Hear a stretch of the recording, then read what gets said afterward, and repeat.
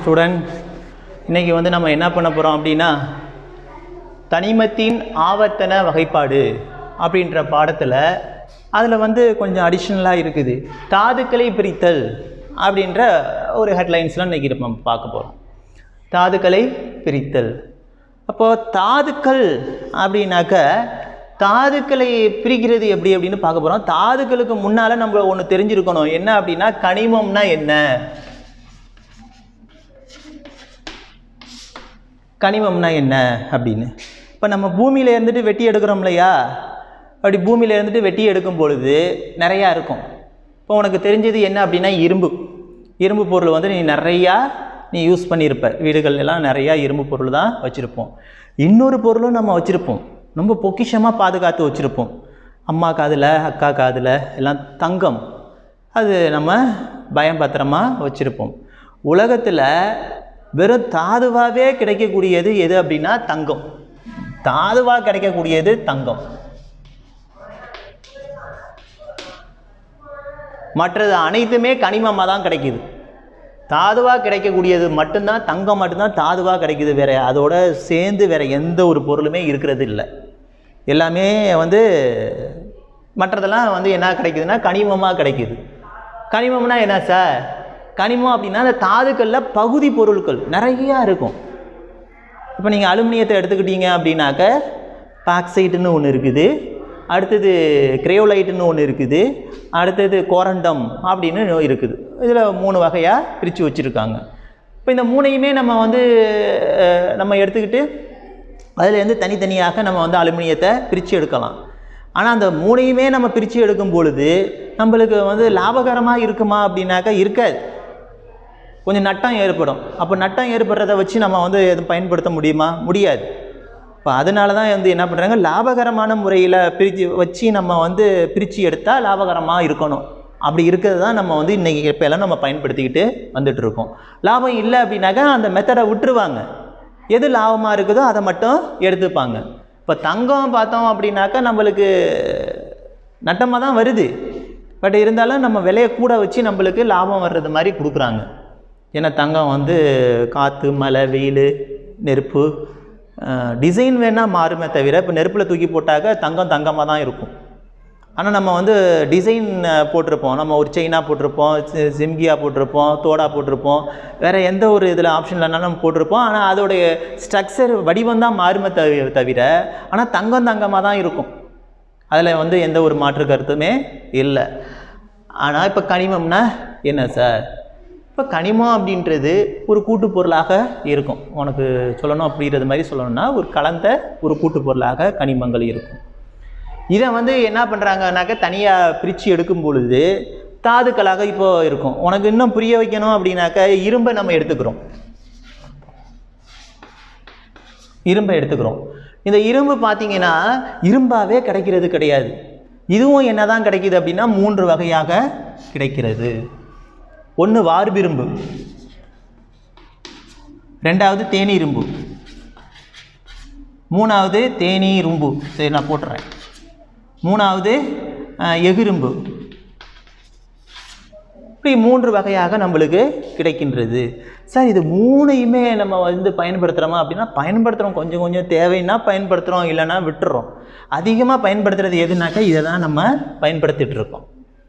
அதிகமாக பயன்படுத்துறது வீடு கட்டுறதுக்கு பஸ்ஸு லாரி அடுத்தது இன்னும் வீட்டில் உள்ள ஜாமான்கள் பயன்படுத்துகிற ஜாமான்கள் பயன்படுத்துறதுக்கு எல்லாத்துக்குமே வந்து எதை தான் பயன்படுத்துகிறோம் எகுவை தான் பயன்படுத்துகிறோம் தேனிரும்பு பயன்படுத்துகிறோம் உனக்கு தெரிகிறது மாதிரி சொல்லணுன்னாக்கா மணி இருக்கு இல்லையா மின்சார மணி. அதில் வந்து என்ன இருக்கும்னா தேனிரும்பு இருக்கும். வாரப்பிரும்பு நீ பார்த்துருப்ப வீட்டில் தோசை சுடுவாங்க. ஒரு கல் மாதிரி இருக்கும். அது வந்து என்னது தோசை கல்லுன்னு சொல்லுவாங்க. அந்த கல் பார்த்தீங்கன்னா இப்போ அது நிறையா வந்துருச்சு அதுலேயும் வந்து இரும்புலையும் போடுறாங்க. கல் மாதிரியே இருக்கும். ம மண் மாதிரி இருக்கும். அது வந்து என்னதுன்னா வார்பிரும்பு போட்டினா உடஞ்சி போயிடும். பயம் பத்திரமா வச்சுக்கணும். ஆனால் அது இரும்புனால ஆனது தான் அதில் என்ன சார் இருக்கும்? அதிகமாக மண் இருக்கும். வார்பிரும்பு மண் வந்து அதிகமாக கலந்துருக்கும். அந்த மண்ணை கொஞ்சம் குறைச்சிட்டோம் அப்படின்னாக்க தேனி இரும்பாக இருக்கும். இதில் மண்ணை வந்து ரொம்ப குறைச்சிட்டோம் அப்படின்னாக்கா சுத்தமாக மண்ணே இல்லாமல் இருந்ததுனாக்கா எகிரும்பு உனக்கு புரிகிறது மாதிரி சொல்லியிருக்கேன் அவ்வளோதான் எகிரும்பு அப்படின்னு அர்த்தம். இதை தான் வந்து என்ன சொல்கிறாங்க அப்படின்னா தாது. இதை தான் என்ன சொல்கிறோம் தாது அப்படின்னு சொல்கிறோம் அப்போது வார்பிரும்புங்கிறது ஒரு தாது தேனிரும்புங்கிறது ஒரு தாது எகிரும்புங்கிறது தாது. இந்த தாதுக்களை லாபகரமான முறையில் பிரித்து எடுக்கணும். அப்படின்னா எதை தான் வார்பிரும்பை வந்து நீங்கள் வந்து பிரித்து எடுத்தீங்கன்னா எகிரும்பை கொண்டு வரணும் அப்படின்னா ரொம்ப லேட்டாகும் வார்பிரும்புலேருந்து தான் வருது. ஆனால் அதை நம்ம வார்பிரும்பாவே வச்சு பயன்படுத்தினோம்னாக்க பயன்படுத்த முடியாது. நம்மளுக்கு அவ்வளவு வந்து நட்டமாக ஆகும் எந்த ஒரு பொருளும் சீக்கிரம் சீக்கிரம் உடஞ்சி உடஞ்சி போயிடும். இப்போ இதுக்காக தான் எஃகு இரும்பை நம்ம பயன்படுத்துகிறோம் அதே மாதிரி தான் அனைத்து உலோகங்கள்லேயும் இந்த மாதிரி நிறைய தாதுக்கள் இருக்குது. எது லாபகரமான முறையில் எது நம்மளுக்கு நன்மை அதிக பயன்படக்கூடிய வகையில் இருக்குதோ அந்த தாதுவை எடுத்து நம்ம இன்னைக்கு பயன்படுத்திகிட்டு இருக்கோம். இது வந்து உலோகவியல் உலோகங்களை பற்றி படிக்கிறது உலோகவியல் அப்படின்ற பாடத்தில் இருந்துட்டு நம்மளுக்கு வரும். சரியா? அப்போது கனிமம்னா என்ன தாதுனா என்ன அப்படின்னு சொல்லிட்டேன். இதை எப்படி நம்ம இன்றைக்கி பிரித்து எடுக்க போகிறோம் பிரித்தெடுத்தல். இப்போ பிரித்தெடுத்தல் அப்படின்னு சொன்னோம் அப்படின்னாக்க நாலு முறையில் பிரித்து எடுக்கிறாங்க. ஒன்று வந்து புவியீர்ப்பு முறை. புவியீர்ப்பு முறை. ரெண்டு பார்த்தோம் அப்படின்னாக்க காந்த பிரிப்பு முறை.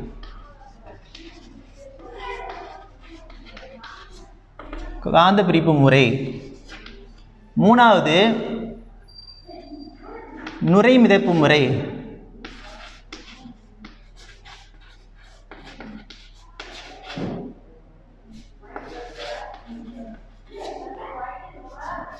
நாலாவது மின்னார் வேதிமுறை முன்னாடி சொன்னோம் இல்லையா? அதே மாதிரி தான் வேதிமுறைன்றதும் மின்னார் பகுப்பு முறைன்றதும் ஒன்று தான் அதனால தான் மின்னார் பகுப்பு முறைன்னு சொல்ல வந்தேன். இப்போ வேதிமுறைன்னு உனக்கு புத்தகத்தில் வேதிமுறைன்னு தான் கொடுத்துருக்குது. இந்த நான்கு முறையில் வந்து என்ன பண்ணுறாங்க இதை வந்து பிரிக்கிறாங்க. புவியீர்ப்பு முறைனா என்ன? ஃபஸ்ட்டு வந்து புவியீர்ப்பு முறை.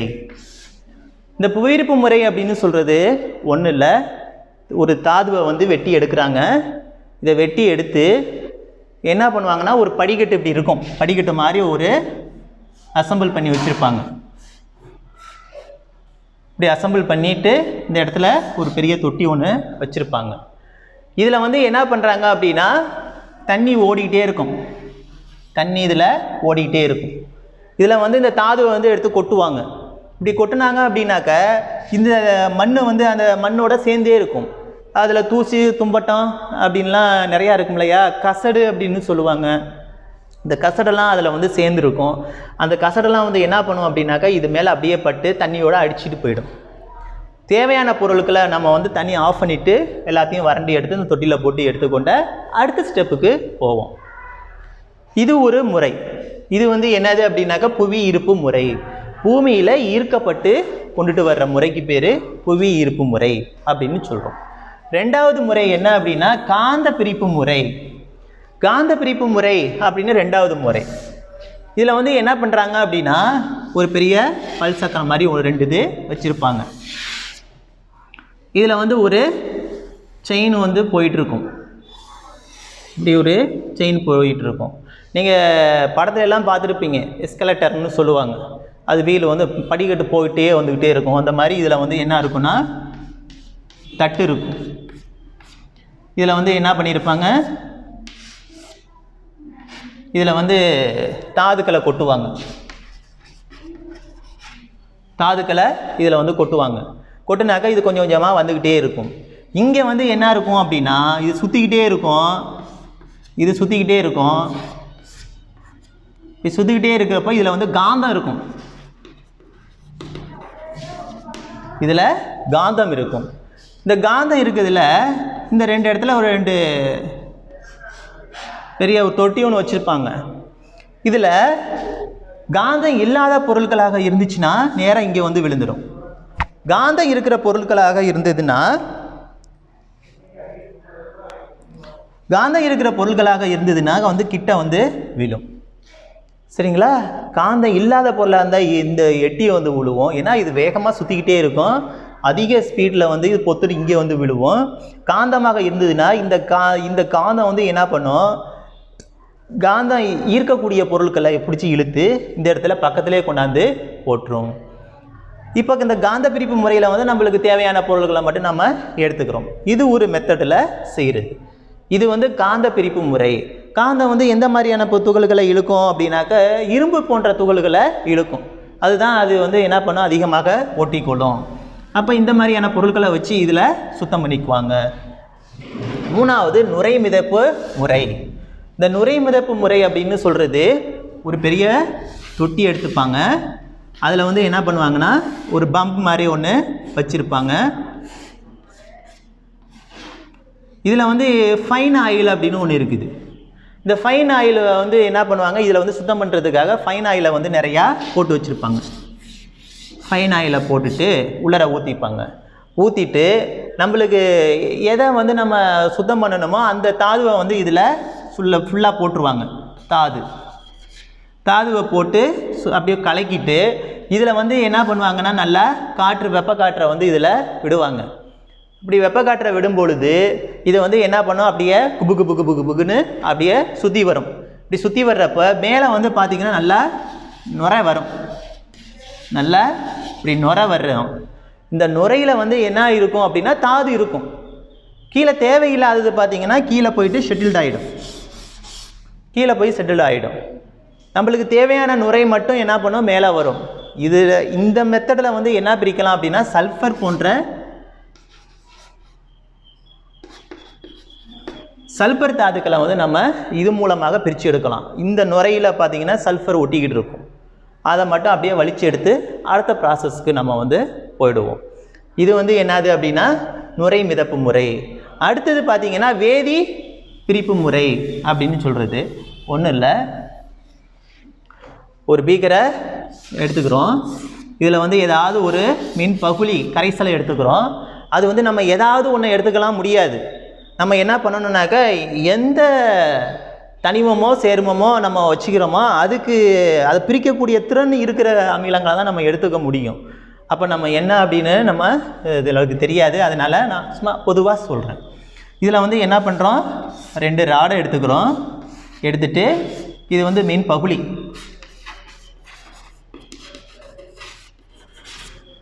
கண்டிப்பாக இந்த மாதிரி நம்ம வேதி வினைக்கு போகணும் அப்படின்னா நம்ம கண்டிப்பாக ஒரு மீன் பகுளி இருக்கணும். ஏதோ ஒரு அமிலம் இருக்கணும். இப்படி இருக்கும் பொழுது இந்த மின் பகுளி வழியாக இந்த ப்ளஸில் இருந்துட்டு மைனஸுக்கு வந்து என்ன பண்ணும்? இடம் மாறும். என்ன மாறும்? இதில் இருக்கக்கூடியது இதில் போய் ஸ்டோரேஜ் ஆகிடும் மின்முலாம் பூசுதல் அப்படின்னு சொல்லுவாங்க. நம்ம சும்மா ஒரு ஈய செயின் இருக்குன்னு வச்சுக்கிறீங்களேன் கடையிலலாம் விற்கும் ஈயம் தான் இருக்கும். ஒரு பத்து நாள் கழித்து பார்த்தீங்கன்னாக்கா வெள்ளையாக இருக்கும். அதில் வந்து என்ன பண்ணலாம் அப்படின்னாக்கா காசு ரொம்ப ரொம்ப ரொம்ப கம்மி. ஜெர்மனியம். இந்த ஜெர்மனி தங்க வச்சுட்டு ஒரு ஈய செயினை வந்து இந்த இடத்துல அப்படியே தொங்க விட்டு வச்சுட்டோம். இப்படி தொங்க விட்டு வச்சிட்டோம்னா இதில் இருக்கக்கூடிய ஜெர்மனியை வந்து என்ன பண்ணும்? இந்த ஈயம் மேலே போய் அப்படியே படியும். ஒரு நிமிஷம் நம்ம வச்சுட்டோம்னாக்கா ஒரு கோடிங் வந்து இதில் விழுந்துடும் வெள்ளையாக இருக்கக்கூடிய செயின் வந்து என்ன பண்ணும்? அப்படியே தங்க செயின் மாதிரி ஆகிடும் ஒரு மாதம் ரெண்டு மாதத்துக்கு போட்டுக்கலாம். வெளுத்து போகாது. கடையிலலாம் இந்த மெத்தடில் ஃபாலோ பண்ணி தான் வந்து விற்கிறாங்க ஏன் வந்து பார்த்திங்கன்னா இந்த செயின்லாம் வந்து ஒரு ரெண்டு ரூபா மூணு ரூபா தான் இருக்கும். இதுக்கு ஜெர்மனியை சேர்த்தோம் அப்படின்னாக்கா ஒரு பத்து ரூபா வரும். ஒரு பதினஞ்சு ரூபாய்க்கு உள்ளதை அவங்க வந்து லாபம் வச்சு ஒரு ஐம்பது ரூபா அப்படின்னு நம்மள்கிட்ட கொடுப்பாங்க. ஏன்னா நிறையா இதுக்கு வரியெல்லாம் உண்டு. கடைக்காரவங்களுக்கு வந்து லாபம் நோக்கத்தில் என்ன பண்ணுவாங்க? ஒரு இருபது ரூபா பத்து ரூபா கூட வச்சு விற்கிறதுக்கு கொடுப்பாங்க. அப்போ நம்மளுக்கு ஒரு ஐம்பது ரூபாய்க்கு வரும். ஆனால் இதோட ஒர்த்து பார்த்திங்கன்னா பத்து ரூபா தான் வரும். இப்போ கை மாறும் பொழுது அதுக்கு வந்து ரேட்டு கொஞ்சம் அதிகமாக மாறும். இது வந்து என்னது அப்படின்னாக்க வேதி பிரிப்பு முறை அப்படின்னு சொல்கிறோம் சரி நாலு முறை நம்ம பார்த்துட்டோம். இந்த நாலு முறையை பார்த்ததில் நம்ம ஏதாவது ஒரு தனிமத்தை எடுத்துகிட்டு உனக்கு எப்படி பிரிக்கலாம் அப்படின்னு நான் சொல்கிறேன்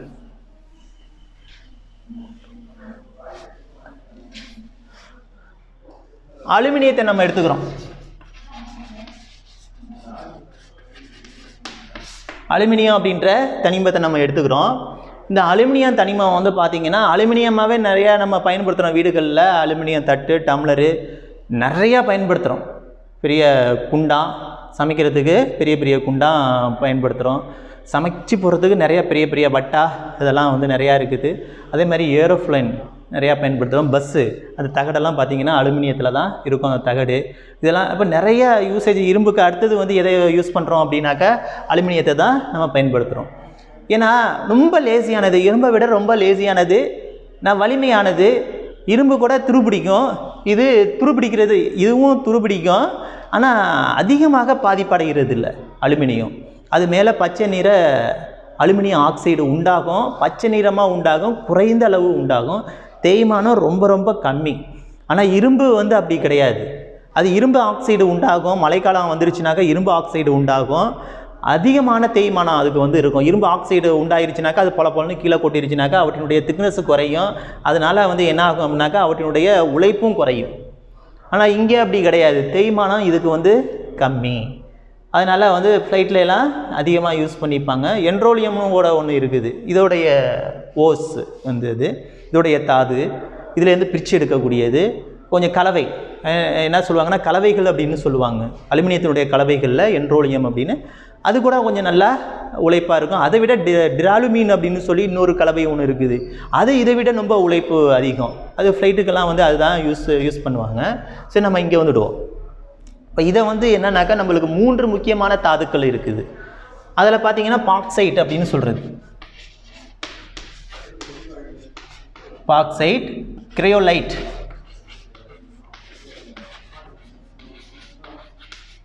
கோரண்டம். அப்படின்னு மூன்று வகையான தாதுக்கள் இருக்குது. நம்ம ஏதாவது ஒரு தாதை எடுத்துக்க போகிறோம் எது லாபகரமான முறையில் இருக்கும் அப்படின்னா இது ரெண்டும் லாபகரமான முறையில் இல்லை. இதுதான் இருக்குது அப்படின்னா இதுதான் வந்து என்னது? லாபகரமான முறையில் நம்ம வந்து என்ன பண்ணலாம்? பிரித்து எடுத்து அதிக விலைக்கு நம்ம விற்கலாம் இதோட ஃபார்முலா என்ன அப்படின்னா A L two O three two hydrate இந்த மாதிரி போட்டோம் அப்படின்னா ரெண்டு இது. அடிமானமாக ரெண்டு போட்டு ஒரு புள்ளி வச்சு இங்கே ரெண்டு கொடுத்துருக்கேன் ஹச் டூ ஓ அப்படின்னு தண்ணி மூலக்கூறுன்னு நீரிலி அப்படின்னு பேர் இதுக்கு. தமிழில் சொல்லணும்னா நீரிலி அப்படின்னு சொல்லுவாங்க. இங்கிலீஷில் எப்படி சொல்லுவாங்கன்னா ஹைட்ரேட் அப்படின்னு சொல்லுவாங்க. ஹைட்ரேட்னா தண்ணீர் தண்ணீர் மூலக்கூறுகள் அப்படின்னு சொல்லுவாங்க. இது ஹைட்ரேட் டூ ஹைட்ரேட் அப்படின்னு சொல்கிறது ரெண்டு நீரிலி ரெண்டு நீரிலி உள்ளது அப்படின்னு தமிழில் சொல்கிறது அலுமினியம் ஆக்சைடு. சரிங்களா? இதை வந்து அலுமினான்னு கூட இதை மட்டும் என்ன சொல்லுவாங்க? அலுமினான்னு பேர். இதை தான் நம்ம பிரித்து எடுக்கணும். இந்த ஹைட்ரேட்டை நீக்கிறதுக்கு ரொம்ப நம்மளுக்கு வந்து டைம் தேவைப்படும். இந்த ஹைட்ரேட்டை நீக்கிறதுக்கு. இப்போ நம்ம எப்படி அதெல்லாம் நீக்க போகிறோம் அப்படின்னு நம்ம பார்த்துருவோம். இதை வந்து நம்ம என்ன பண்ண போகிறோம் அப்படின்னாக்கா ரெண்டு மெத்தடில் நம்ம வந்து பிரிக்க போகிறோம் என்னென்ன மெத்தடு அப்படின்னாக்க பேயர் முறை.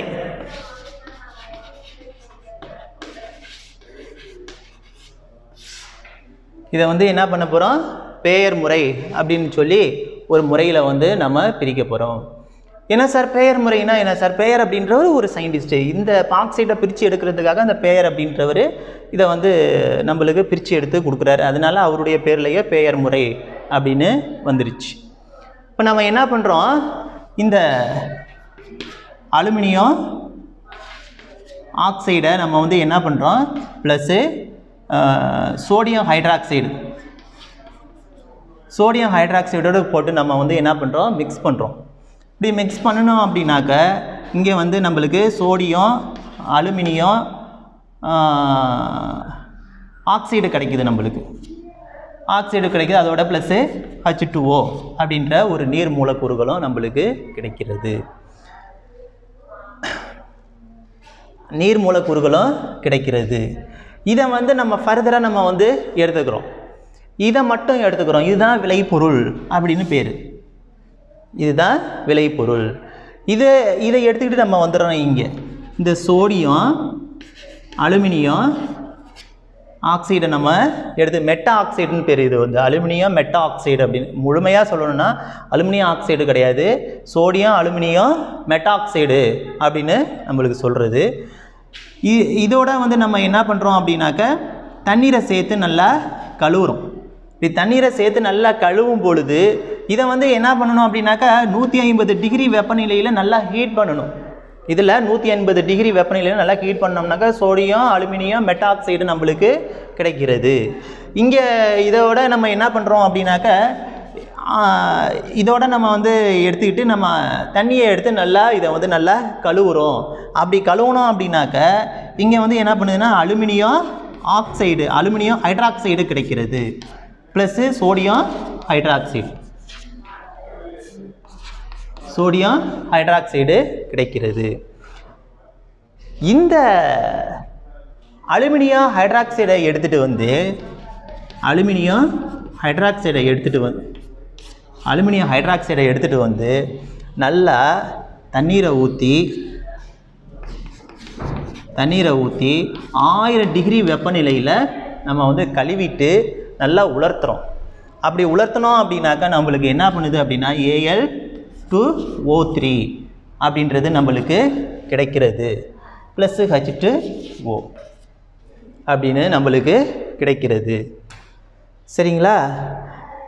இதுதான் நம்மளுக்கு அலுமினா அப்படின்னு சொல்கிறாங்க அலுமினா அப்படின்னு சொல்கிறாங்க இது யார் கண்டுபிடிச்சதுன்னா பெயர் தான் கண்டுபிடிச்சார். இப்போ நம்ம இந்த ஓரை எடுத்துக்கிறோம். ஓசுனா தாதுக்கள். இந்த தாதுவை நம்ம எடுத்துக்கிறோம். எடுத்துக்கிட்டு சோடியம் ஹைட்ராக்சைடை போட்டு நூற்றி ஐம்பது டிகிரி வெப்பநிலையில் நல்லா ஹீட் பண்ணோம் அப்படின்னா சோடியம் அலுமினியம் மெட்டா ஆக்சைடு கிடைக்கிது. அந்த மெட்டா ஆக்சைடை எடுத்துகிட்டு வந்து தண்ணீரை ஊற்றி நல்லா கழுவுறோம். அப்படி கழுவும் பொழுது நம்மளுக்கு அலுமினியம் அலுமினியம் ஹைட்ராக்சைடு கிடைக்குது. இந்த அலுமினியம் ஹைட்ராக்சைடு சோடியம் ஹைட்ராக்சைடு கிடைக்கு நம்மளுக்கு தேவையானது இதுதான். இந்த அலுமினியம் ஹைட்ராக்சைடை எடுத்துகிட்டு வந்து தண்ணியை ஊற்றி நல்லா கழுவிட்டு ஆயிரம் டிகிரி வெப்பநிலையில் நல்லா உலர்த்தணும் அப்படின்னாக்கா நம்மளுக்கு அலுமினா அப்படின்ற ஏஎல் டூ ஓ த்ரீ அப்படின்ற ஒரு மூலப்பொருள் கிடைக்கும். இதை எடுத்துக்கிட்டு நம்ம வந்து என்ன பண்ண போகிறோம்னா அடுத்து ஹால் மெத்தட் அப்படின்னு சொல்லி ஒரு மெத்தடுக்கு போகிறோம் ஹால் இதுவும் வந்து என்ன அப்படின்னாக்கா ஒருத்தர் கண்டுபிடிச்சிரு. ஒரு சயின்டிஸ்ட் நேம் ஹால் முறை அப்படின்னு பேர். சரி அடுத்த மெத்தடுக்கு நம்ம போக போகிறோம்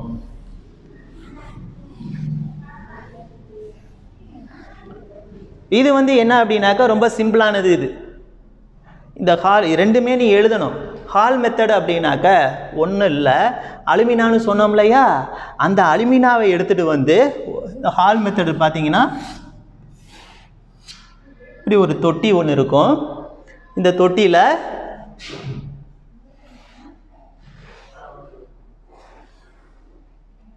இப்படி ஒரு தொட்டி ஒன்று இருக்கும். இதில் வந்து என்ன பண்ணியிருப்பாங்க அப்படின்னாக்க கிரையோலைட்டு வந்து வச்சுருப்பாங்க. கிரையோலைட்டு வந்து போட்டு வச்சுருப்பாங்க. இதில் வந்து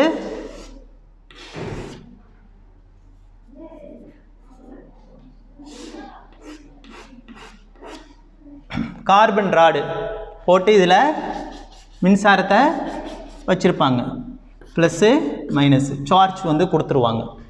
இப்படி சார்ஜ் கொடுத்துருவாங்க. ரெண்டு வோல்ட்டு வந்து இதில் வந்து கொடுப்பாங்க. அப்படி கொடுத்ததும் வந்து என்ன ஆகும்? இந்த கிரையோலைட்டு வந்து மின் பகுதியாக செயல்பட்டு நம்மளுக்கு கீழே வந்து வ- அலுமினியமாக கீழே போயிட்டு அலுமினியம் வந்து ஸ்டோரேஜ் ஆகிடும் சரிங்களா? இந்த அலுமினியம் பார்த்தீங்கன்னா ஏஎல் இந்த அலுமினியம் பார்த்தீங்கன்னா வெரி பியூரானது ரொம்ப ரொம்ப பியூரானது சரிங்களா? இது வந்து என்னது அப்படின்னா கால் மெத்தடு அப்படின்னு சொல்லி நம்மளுக்கு வந்து சொல்கிறது இந்த மாதிரி முறையில் நம்ம பிரித்து எடுக்கிறது.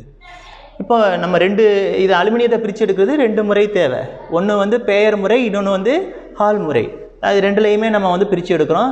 இந்த கொஸ்டின் இது ஏன் நடத்தினேன் அப்படின்னாக்கா இது வெரி வெரி இம்பார்ட்டன்ட் கொஸ்டின் இதை நீ படிக்காமல் இருக்கவே கூடாது. ஏன்னா கண்டிப்பாக பரீட்சையில் எக்ஸாமில் கேட்பாங்க. எனக்கு என்ன பண்ணுற அப்படின்னா இந்த அலுமினியத்தினுடைய தாது எப்படி பிரித்து எடுக்கிறோம் அப்படின்றத எனக்கு எழுதி அனுப்பு. சரியா? இதுதான் உனக்கு வீட்டு பாடம் தேங்க்யூ